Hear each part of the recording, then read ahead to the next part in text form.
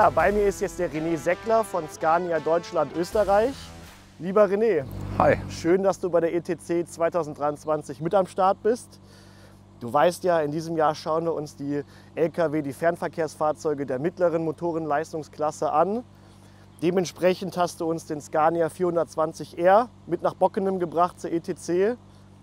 Ich würde sagen, du erzählst uns mal wieder ein bisschen über euer Fahrzeug, was du uns hier mitgebracht hast. Mache ich natürlich gerne. Erstmal vielen Dank nochmal für die Einladung, der wir sehr gerne nachkommen hier zur ETC und wir wollen auch hier wieder ein gutes Ergebnis abliefern. Wie du schon erwähnt hast, wir haben heute unseren kleinsten, in Anführungszeichen, in der neuen äh, Superbaureihe dabei, den 420R mit 2300 Newtonmeter. Kleines Highlight an dem Fahrzeug, wir haben keinen Retarder verbaut. Wir haben unser kleines G25 Getriebe verbaut. Das heißt, wir haben hier auch ein sehr, sehr leichtes Fahrzeug, wo knapp an die 7 Tonnen liegt.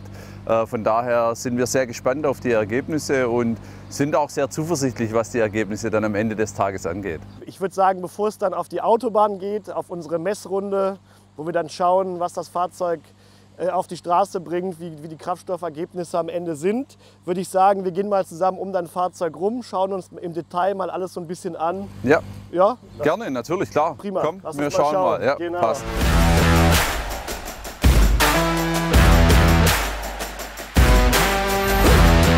Ja, René, du kennst mich, du weißt, ich freue mich immer, wenn wir noch ein gutes altes Dieselaggregat im Fahrzeug haben.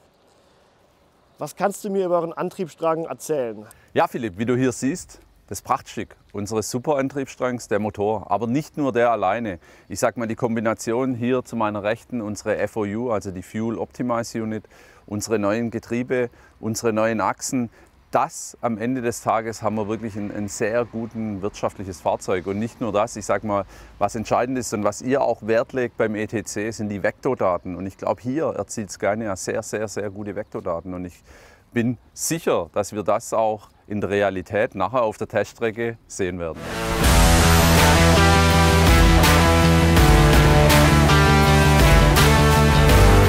Jetzt sitzen wir bei euch drin in der R-Kabine.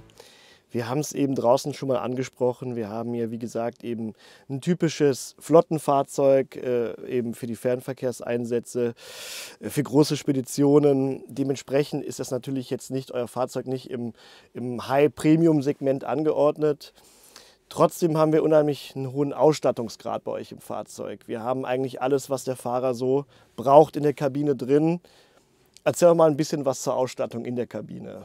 Definitiv. Wir haben hier trotz alledem äh, wirklich eine gute Ausstattung. Also wir haben hier diese Rückwand äh, drin, wo der Fahrer sein, äh, seine Utensilien verstauen kann. Wir haben auf der Beifahrerseite einen Drehsitz mit drin, äh, denke ich, äh, wo nichts mangelt. Wir haben einen Kühlschrank, ein breites Bett, ein bequemes. Äh, nicht zu vergessen, denke ich, einfach unser Cockpit, also wie es angegliedert ist. Das ist sehr erreichbar, es ist übersichtlich für den Fahrer und ganz wichtig, Trotz alledem, wir haben hier alle Sicherheitssysteme. Wir haben einen Spurhalteassistent, wir haben einen Notbremsassistent. Also das heißt, es mangelt an nichts, was den Fahrer an Sicherheit unterstützt. Und ich glaube, das ist wirklich ein sehr, sehr entscheidendes Merkmal bei Scania. Ja, René, jetzt hast du mir wieder viel über den 420R erzählt. Du kennst mich, jetzt will ich auf die Straße, jetzt will ich fahren.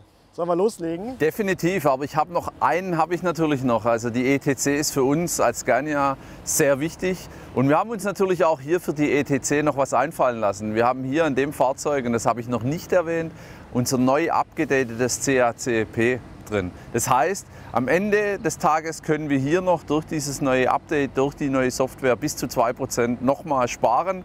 Und das werden wir jetzt mal erfahren und dann wirst du mal sehen, was wir können und was wir am Ende des Tages erzielen werden. Dann lass uns loslegen, oder? Let's go. Ja.